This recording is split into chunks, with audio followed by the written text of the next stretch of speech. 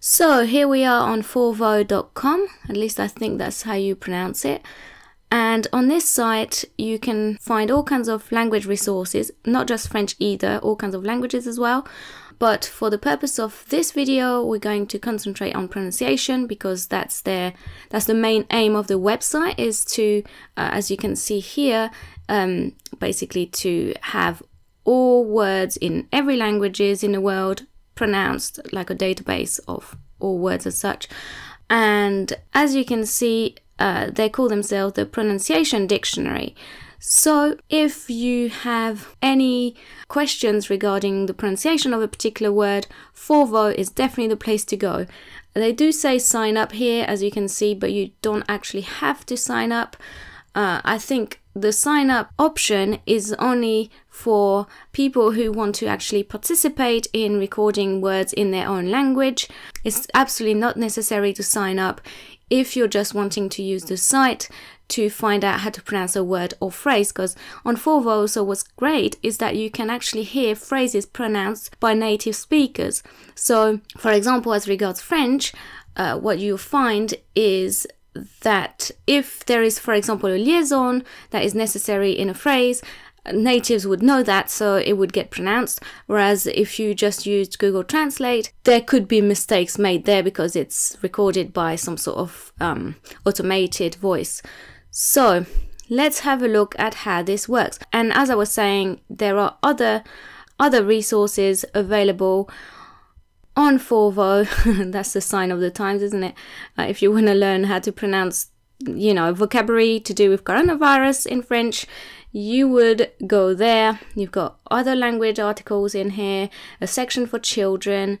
Um, it's really a um, great website. But as I was saying, let's focus on pronunciation because otherwise this video would last way too long. So you can here put a word in, say, in English, for example, and so let's put, hmm, let's say hello, for example. Let's start really simple. Hello. No, that's not what I wanted to do. Okay, never mind. This I, this section, I have to be honest. This section, because I've I've used this website a fair bit myself. This section I find a little bit temperamental. It doesn't always work the way you expect it to. But here it is where you would select the language pair when it works properly. The way that I use Forvo is I go to languages, so you would select the language you're learning. So for example, let's, well, let's obviously pick French. And then here you would type the word or phrase you want to hear in French. So for example, let's start easy and let's pick bonjour. So you can see you've got loads of um, suggestions down here, but we'll stick with bonjour to start with. And if you scroll down, you see that bonjour has 50 possible pronunciations. Uh, sorry, that's not what I meant to say. It has been pronounced by 50 different people, so you'll be able to get a good idea of how it is pronounced. And what I particularly like about Forvo, as you can see here, is that you can hear the, the words that you want to learn how to pronounce pronounced by males, by females. Uh, you can also see their location. So, for example, here all four are from France, but if we scroll down, there are probably others from other places. Yes, here you hear it from Canada. Um, so, probably someone from Quebec. Um, what else? So, you've got lots of males, lots of females uh, even someone from the United States, so they're probably uh, native speakers because I believe only native speakers are allowed to record their voice because that's the whole point of the website is it has to be pronounced by native speakers. So you've even got someone from Switzerland, uh, Canada, Belgium. So that's great because if you want to learn French because you're going to go to a particular French speaking country, it doesn't necessarily have to be France uh, because just like English is pronounced differently, for example, in England and in America, the same goes for French. It is pronounced differently depending on whether it's French from Paris or French from Canada or French from, you know, any other uh, French speaking country. So let's have a look, for example. Let's listen to this. So, a male from France.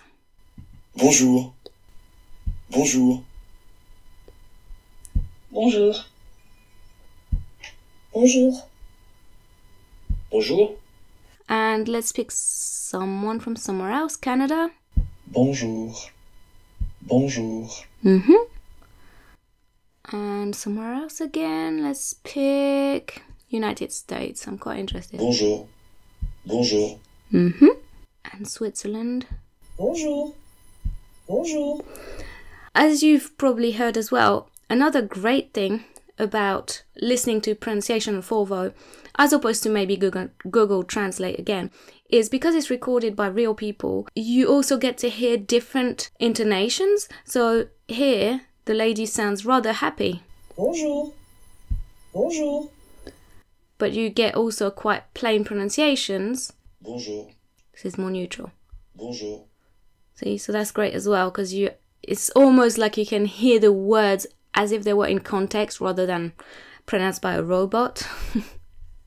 so this is for bonjour and also here if you're familiar with the international phonetic alphabet, you often uh, get it here so you can actually see how it would be spelt or written in the international phonetic alphabet, which also would help you understand how the word is pronounced. So, bonjour.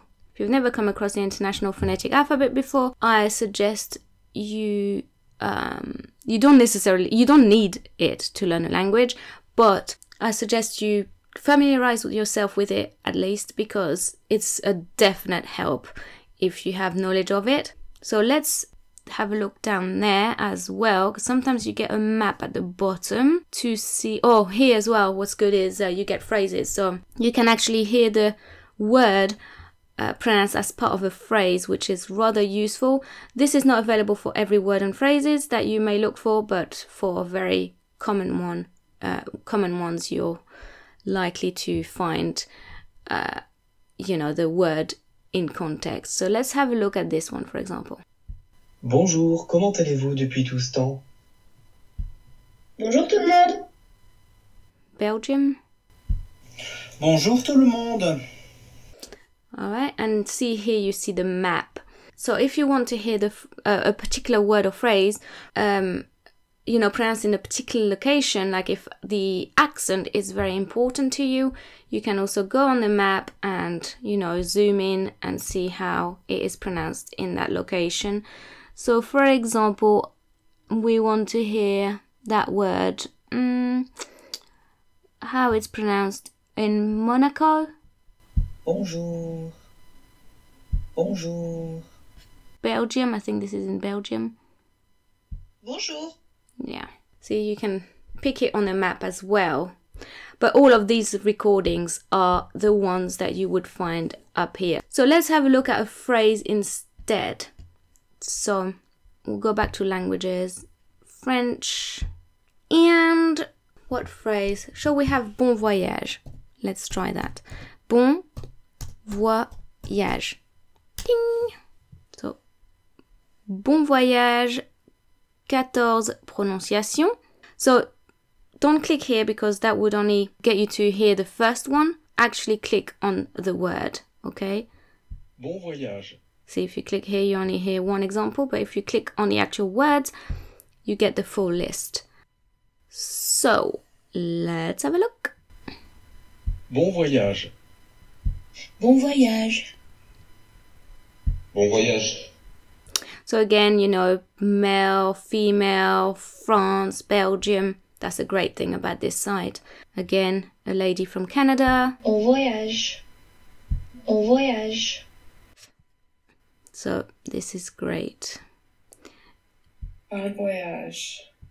Yeah, this is with a, an American accent. Again, you get the map. Oops. You get a translation here. On this particular one, you don't get the IPA. I think it's because it's um, it's a phrase. It's much more common for the imp- for the international phonetic ugh, sorry, I can't speak, for the International Phonetic Alphabet to be included if it is a single word that you're looking for. But at least for as long as I've been using the website myself, and again, let me just take the opportunity to say this is not sponsored. You know, I just used Forvo myself, and I just thought anyone learning a foreign language could benefit from knowing about this website. Um, so that's the only reason I'm telling you about it. Uh, yes, so I was going to say that for as long as I've been using the website myself, I've always found at least one instance of the word or phrase I was looking for. So that's great as well. Um, you can also have a look, say, mm, flirting. Let's have a look. So you can hear phrases here to do with flirting. Comment vous appelez-vous Vous venez ici souvent Tu es vraiment mignon. But of course, that's more useful if you want to learn phrases rather than specific pronunciation. So let's have a look. Um, what other phrase might you want to know?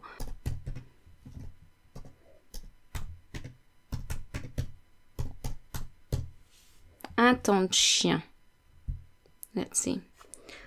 Attention is an expression we use when basically it, it kind of means raining cats and dogs. It's like really horrible weather. So let's have a look. Un temps de chien. Un temps de chien. Un temps de chien. Un temps de chien. I like this one, see, because he actually recorded himself pronouncing, like really enunciating each word and then uh, using the gliding that would be much more natural, which is basically not pronouncing the E here. Uh, again, that's a benefit of, you know, listening to real people rather than robots because they'd know how to, um, how people actually speak. So that's great. Un temps de chien. Un temps de chien. Yeah, that's that's really good. So that's about all I wanted to show you as part of um, this little demonstration of this website. And let me know if you think you're going to use it in future. Did you find it useful? Did you already know about it? I'm actually interested to know like how many people know of this website because I don't actually see it advertised anywhere. I don't even know how I got to know of it. To be honest, I've known it I've known about it for quite some time, but I can't remember how I found it. So I'd be interested to know if you knew of it and if you did, where did you hear about it? So that's it for me today. I hope you enjoyed this video and you learned something and I'll see you next time. Bye!